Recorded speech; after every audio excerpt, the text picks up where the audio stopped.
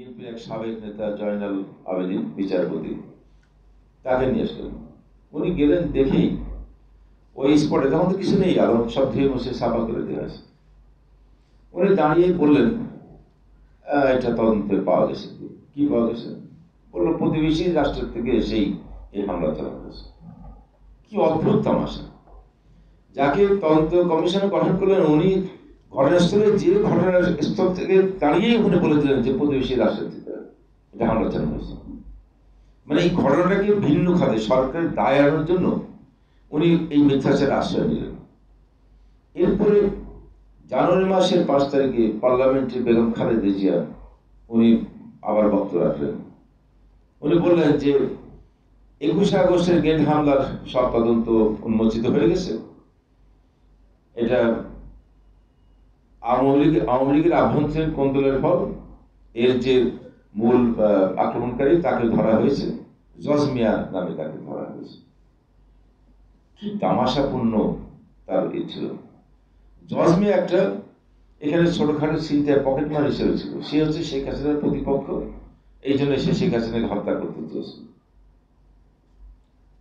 এই যে মিথ্যাচার করে এগুলো ঢাকার চেষ্টা করা হয়েছে। কেন? একটাই কারণ যে বিএনপি এই ঘটনার সঙ্গে তারা জড়িত ছিল, সেটাকে আড়াল করার জন্য এই মিথ্যাচারের আশ্রয় নিয়েছিল। আজকে যখন এই হত্যাকাণ্ডের আসামি ধরা পড়েছে, মুফতি হান্নান সহ বেশ কয়েকজন জঙ্গি যারা ধরা পড়ে তারা সাক্ষ্য দিয়েছে। সেই সাক্ষ্য বের এসেছে যে কীভাবে হাওভবনে বসে হাওভবনের কর্ণধার তারেক রহমান এই সমস্ত জঙ্গি নেতাদের নিয়ে তার স্বরাষ্ট্র প্রতিমন্ত্রী লুতুজ্জামান বাবর, শিক্ষামন্ত্রী আব্দুল সালাম পিন্টু, বিএনপির এমপি শাকাইকোবাদ জামাতের সেক্রেটারি আলী হাসান মুজাহিদ, বঙ্গবন্ধু হত্যার আসামি মেজর নূর সহ এই জঙ্গিদের নিয়ে দফায় দফায় বৈঠক করেছে পরিকল্পনা করেছে। কীভাবে হামলা করা যাবে? পাকিস্তান থেকে আরএসএস গ্রেনেড নিয়ে আসা হয়েছে। এবং সেই গ্রেনেড এনেছে আব্দুল সালাম পিন্টুর ভাই মৌলানা তাজউদ্দিন আহমেদের মাধ্যমে। এখন সেটা তো রাষ্ট্রীয় সহযোগিতা ছাড়া কীভাবে একটা দেশের মধ্যে গ্রেনেড আসে? সেটা আনা হয়েছিল এই এই বোমা হামলা করার জন্য, গ্রেনেড জন্য।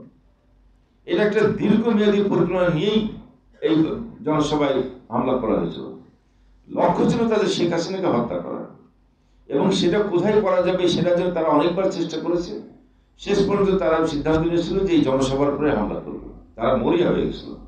কারণ তাদের ধারণা ছিল, জনগণ যেভাবে বিএনপি জামাতের রাষ্ট্র শাসনকালে তাদের অত্যাচার, নির্যাতন লুটপাটে এই হাবনে বসে তারা যে সীমাহীন দুর্নীতি অপকর্মে জড়িয়ে গেছে, সাধারণ মানুষ খুব হয়ে গেছিল। এখন তাদেরকে আওয়ামী লীগকে নিশ্চিন্ন করতে পারলে তাহলে আর এর বিরুদ্ধে প্রতিবাদ করতে পারবে না। তাহলে তারা আজীবন ক্ষমতা থাকতে পারবে। এই লক্ষ্য নিয়ে এই পরবর্তীত হত্যাকাণ্ড চালানো হয়েছিল।